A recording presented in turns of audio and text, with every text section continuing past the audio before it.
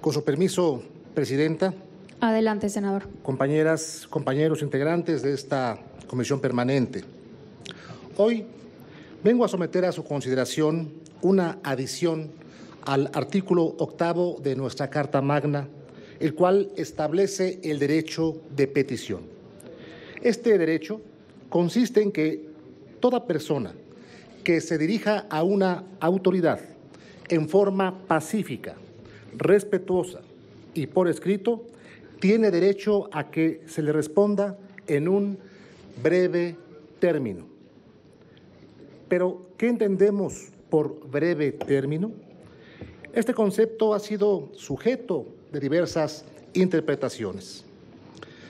De hecho, cuando se analizaba el dictamen de este artículo, una tarde del martes 12 de diciembre de 1916, el legislador Vaca Calderón refería, apuntaba que este concepto del breve término realmente era ambiguo y que era necesario fijar un plazo para que la gente tuviese certidumbre, el ciudadano, el peticionario tuviese certidumbre.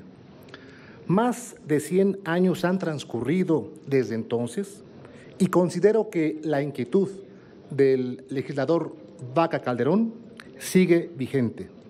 Inquietud que hago propia y que por lo tanto expreso mi coincidencia con el constituyente ya referido. Motivado por esta inquietud, es que presento esta iniciativa.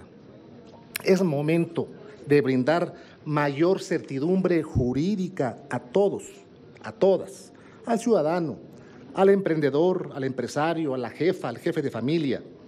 Por lo cual, propongo una adición para que se contemple en este artículo octavo de nuestra ley de leyes un plazo de hasta 45 días naturales para que la autoridad, ya sea municipal, estatal o federal, brinde respuesta al peticionario.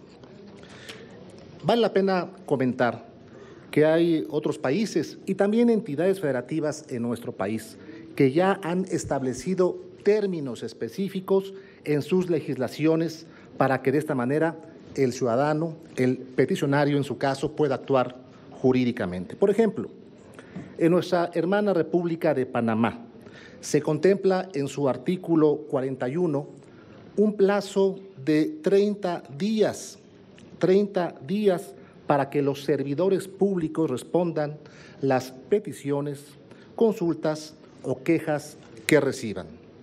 Así también, diferentes entidades federativas de nuestros países, de nuestro país, corrijo, de nuestro país, han contemplado plazos diversos que obligan a la autoridad a dar respuesta a las solicitudes de los ciudadanos siempre que éstas cumplan con los requisitos.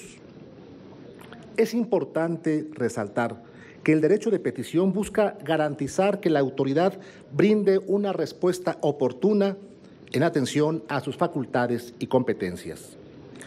La respuesta de la autoridad, vale la pena comentarlo, puede ser favorable o no al peticionario, pero eso sí, tiene la obligación de responder